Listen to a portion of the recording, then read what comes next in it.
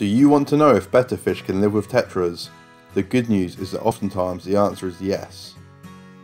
If you're like me, you love the idea of a community tank. The only problem is finding the right fish to live with your betta. And if you love the look of tetras, then they may be the ideal fish. However, there are some rules you should stick to when introducing tetras to your tank, or your betta may not stay so friendly. There are over a hundred different types of tetra on Earth, so asking if a betta can live with them is a broad question. There are a few common reasons tetras don't make good tank mates. For example, they often nip fins. As well as this, they're schooling fish, so if they swim into your betta's territory, it may spell trouble.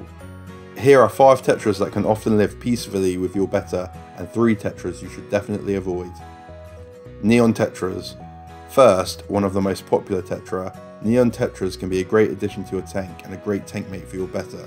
If you plan on adding Neon Tetras to your tank, you're going to need at least 6, but 10 to 12 is the ideal amount. At 10 to 12 their stress levels will be minimal, as they'll be in a good sized school. Neon Tetras make great tank mates because of their speed and where they spend most of their time. Your betta will oftentimes choose territory near the top of the tank, which is great because Neon Tetras swim around the middle, which means they won't be butting heads all the time and even if your betta does act aggressively towards your Neon Tetra, it's extremely unlikely he'll ever get a bite because of their speed. If you plan on buying Neon Tetras, it's no small commitment. They can live up to 5 years and grow to 1.5 inches in length.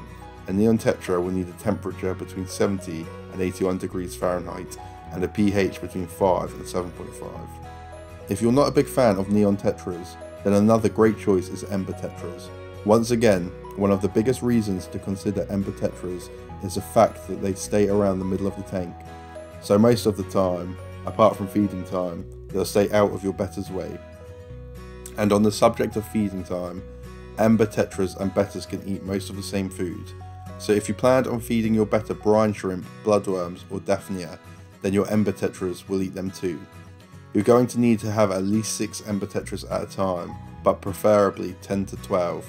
Oftentimes, Ember Tetras will school with Neon Tetras, However, if you plan on adding both to your tank, you may need two separate schools in case this doesn't happen. Ember Tetras are a lot smaller than Neon Tetras, growing up to 0.8 inches. This does mean that if one of them gets sick, there is a possibility that your betta will eat them. An Ember Tetra will need a temperature between 73 to 84 degrees Fahrenheit and a pH between 5 and 7. Next are rummy nose tetras.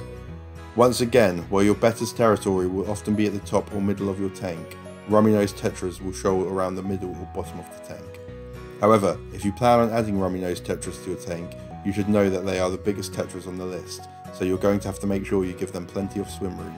At the very least, you're going to need to have a 20 gallon tank. And also, just like the other tetras, rummy nose tetras are schooling fish.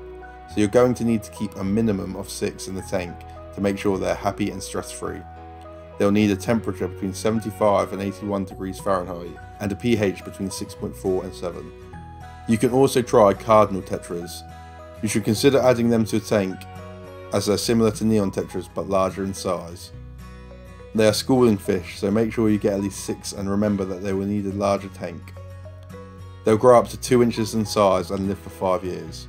Lastly, cardinal tetras need a temperature between 73 and 80 degrees Fahrenheit and a pH between 5.5 and 7. Black neon tetras can also be a great choice. One of the reasons they make great tank mates is their lack of colour. Colour often triggers aggression in bettas, so this can easily be avoided with black neon tetras. Black neon tetras should be kept in a school of 6 to 12, and you should make sure they have plenty of room to swim. They'll need a temperature between 68 and 79 degrees Fahrenheit and a pH between 6 and 7. There are also tetras you should avoid. One such tetra is the Black Phantom Tetra.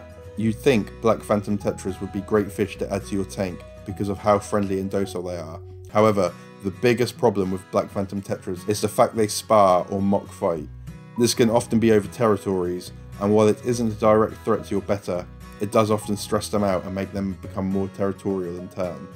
If you're going to have Black Phantom Tetras, then you should consider putting them in another tank. Also, Black Phantom Tetras can often be nippy when they aren't in a large enough shoal. They need a temperature between 72 and 80 degrees Fahrenheit and a pH between 6 and 7.5. Bleeding heart tetras are often known as being nipping fish, so they should be avoided. They are also incredibly speedy, which means that your betta is going to have a hard time swimming away from them. However, this does also mean if you were going to get bleeding heart tetras that are peaceful, they would be able to escape a betta's nipping. If you insist on getting bleeding heart tetras, then you should definitely add a lot of plant life to your tank to give your betta plenty of places to hide. You should also use a large tank and try to keep your betta and tetras from getting under each other's skin. Temperatures they need are between 72 and 80 degrees Fahrenheit and the pH needs to be between 6.6 and 7.8. Serpae tetras are a fantastic starter fish and they look amazing, but you shouldn't add them either. The first reason you shouldn't add Serpae tetras is because they are extremely nippy fish. They will often chase and nip fish that are slower than them, like your betta, and to add to that, they also dislike fish that have flowing tails and are brightly coloured. As you can imagine, putting them in with your betta will spell trouble for both fish. And lastly, Serpae tetras will compete for food during feeding time, meaning your betta may have a hard time not getting his food stolen from him. If you do want to keep them, they need a temperature between 72 and 79 degrees Fahrenheit and a pH between 5.5 and 7.5. How should you introduce tetras to a betta tank? It isn't advised to add tetras or any fish directly to your main tank when you first get them, because if the fish you plan on adding are sick or carrying any illnesses, then they may infect the tank. This is especially true of a lot of tetras. Before adding tetras to your tank, you should always add them to a quarantine tank first. Tetras can often stress easily when being introduced to a new tank, which means they are more likely to develop an illness such as ick or velvet. When setting up your quarantine tank, you should add water from your main tank to acclimatise your tetras better. This is also more beneficial than using conditioned water because your tetra won't have to acclimatise twice. Using a quarantine tank is especially important if you order tetras online. Tetras don't ship well, so if you get your tetras from a local shop, it's well worth using a quarantine tank. How to minimise fin nipping.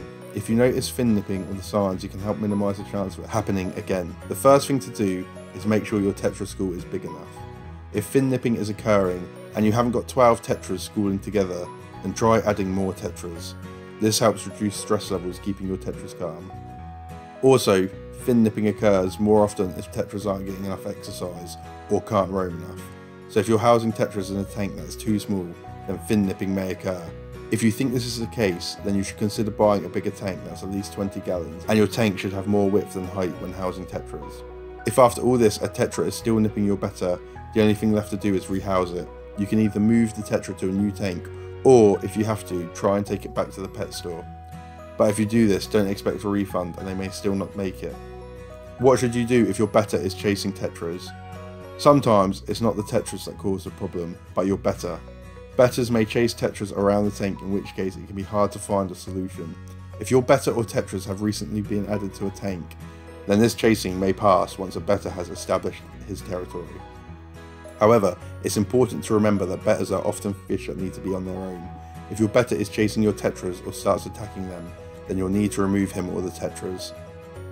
There are two things you can do in this situation. The first thing is buying a tank divider. By doing this, you can place all your tetras in one half of the tank and your betta in the other. The only other option apart from this is move one or the other to another tank. And obviously, as a last resort, you can try and take your fish back to the shop. Here are some important things to remember. While you can try and house fish with your betta, it may be impossible to house any with him. If you've never housed a fish with your betta before, then you should have a backup tank ready in case he doesn't want any tank mates. When you're choosing tetras, make sure they are adults, even if your betta is friendly, they're still opportunistic eaters. That means given the chance, he may still try to eat a small tetra. Check to make sure that you aren't buying a sick tetra either. You can tell an unhealthy fish by the way they act. If they appear to be isolated, lethargic, or showing clear signs of illness, then make sure not to buy them. And if you plan on adding tetras to your tank, then they're going to need a minimum of 20 gallons. Make sure that your tank has a lot of width as well, and even though 20 gallons is the minimum, you should still aim for bigger, for a whole variety of reasons including keeping the water more stable, reducing the bioload, and keeping fish happy. I hope you liked this video, and if you want to learn about other tank mates that can live with your fish, then you should definitely check out the Ultimate Betta Tank Mate Guide. You'll learn about 68 different tank mates that can live with your fish, as well as fish you should avoid. And lastly, if you liked the video, make sure to subscribe to my channel. Otherwise, have a great day.